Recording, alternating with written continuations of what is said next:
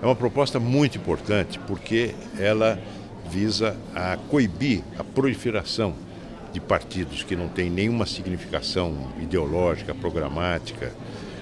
e que se multiplicam estimulados pela, pelo desejo de obter nacos do fundo partidário. Esta proposta diz o seguinte, que para ter existência parlamentar, estrutura aqui, líder, funcionamento parlamentar, o partido deverá obter pelo menos 3% dos votos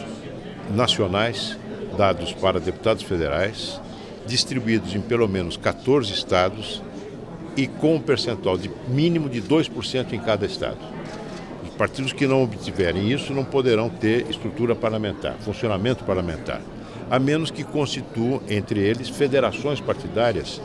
que, uma vez constituídas antes das eleições, deverão perdurar durante toda a legislatura.